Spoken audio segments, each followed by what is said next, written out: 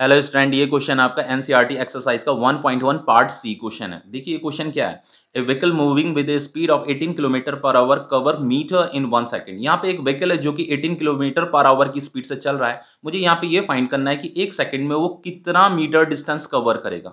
तो सबसे पहले यहाँ पे जो स्पीड दे रखा है आपका किलोमीटर पर आवर में दे रखा है किलोमीटर पर आवर में आपको स्पीड आपका स्पीड दे रखा है। आपको यहाँ पे डिस्टेंस फाइंड करना है। और डिस्टेंस जो फाइंड करना है we have to find distance in metre में ये डिस्टेंस हमें फाइंड करना है। टाइम क्या दे रखा? है वन सेकेंड वन सेकेंड में आपको फाइंड करना है कि उसने कितना डिस्टेंस कवर किया। टाइम है आपका वन सेकेंड तो देखो डिस्टेंस का फॉर्मूला क्या होता है? डिस्टेंस का फॉर्मूला होता है आपका स्पीड इंटू टाइम अब देखिए यहाँ पे स्पीड किसमें दे रखा है? किलोमीटर पर आवर में दे रखा तो यहाँ पे 18 किलोमीटर पर आवर लिख दीजिए। इनटू टाइम कितना दे रखा? वन सेकेंड लेकिन यहाँ पे हमें जो डिस्टेंस फाइंड करना है, वो मीटर में फाइंड करना है। जो उसने डिस्टेंस कवर किया है एक सेकंड में, कितना मीटर उसने डिस्टेंस कवर किया, वो मुझे फाइंड करना है। तो मुझे क्या करना पड़ेगा? ये जो स्पीड किलोमीटर पर आवर में दे रखी है, इसे मीटर पर सेकंड में कन्वर्ट करना पड़ेगा सबसे पहले। तो देखो ये 18 किलोमीटर पर आवर को अगर आपको मीटर पर सेकंड में कन्वर्ट करना है तो आप इसे 5 अपॉन एटीन से मल्टीप्लाई कर दीजिए। ये एक शॉर्ट तरीका होता है। ये किलोमीटर पर आवर जो है मीटर पर सेकंड में कन्वर्ट हो जाता है। तो ये आपका मीटर पर सेकंड हो गया। इंटू वन सेकेंड तो ये आपका 18 से 18 कट गया, ये हो गया आपका 5 मीटर पर सेकेंड इंटू वन सेकेंड तो ये आपका सेकेंड से सेकेंड कट जाता है क्योंकि अब यहाँ पे पावर वन है, यहाँ पे सेकेंड के ऊपर पावर वन है, यहाँ पे सेकेंड के ऊपर नेगेटिव वन पावर है। तो ये आंसर कितना आ जाता है? फाइव मीटर आ जाता है। मतलब कोई कार अगर इतनी स्पीड से चल रहा है एटीन किलोमीटर पर आवर से चल रहा है तो एक सेकेंड में जो है फाइव मीटर का डिस्टेंस कवर करेगा।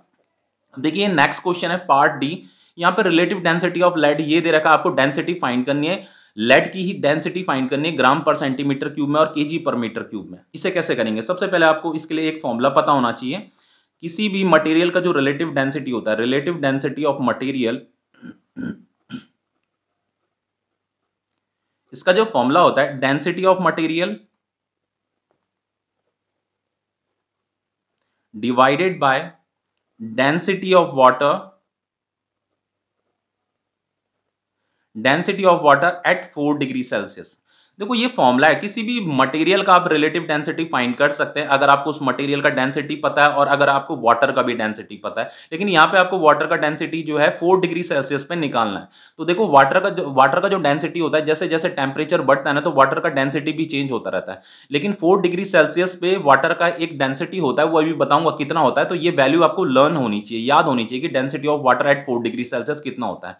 तो देखो वाटर का जो डेंसिटी होता है डेंसिटी ऑफ़ वाटर जो होता है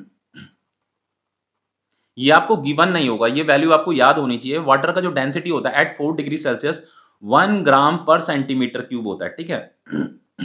और दूसरा इसका जो है, अगर इस ग्राम पर सेंटीमीटर क्यूब को अगर केजी पर मीटर क्यूब में कन्वर्ट करोगे तो ये होता है वन थाउज़ेंड के पर मीटर क्यूब अगर आपको density of water KG per metre cube में लिखनी है तो ये वन थाउज़ेंड होती है। अगर ग्राम पर सेंटीमीटर क्यूब में लिखनी है तो ये वन ग्राम पर सेंटीमीटर क्यूब होती है, ठीक है? अब देखिए, यहाँ पे इस क्वेश्चन को कर लेते हैं। यहाँ पे ये जो formula relative density of material तो मटेरियल यहाँ पे क्या दे रखा? लेड दे रखा। तो मटेरियल की जगह में लेड लिख दीजिए। Relative density of lead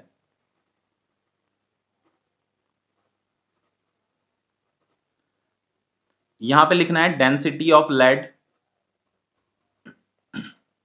divided by density of water देखो रिलेटिव डेंसिटी ऑफ़ लाइट कितना देर का? 11.3 यहाँ पे 11.3 लिख दीजिए। ये डेंसिटी ऑफ़ लाइट मुझे फाइन करना है। इट्स डेंसिटी इज़ मुझे ग्राम पर सेंटीमीटर क्यूब में ये फाइंड करना है लाइट का डेंसिटी डेंसिटी ऑफ़ लेड तो अगर आपको ग्राम पर सेंटीमीटर क्यूब में लेड का डेंसिटी फाइंड करना है तो वाटर का डेंसिटी भी आपको ग्राम पर सेंटीमीटर क्यूब में ही लिखना पड़ेगा। तो वाटर का जो डेंसिटी होता है, वन होती है, वन ग्राम पर सेंटीमीटर क्यूब होती है, ठीक है?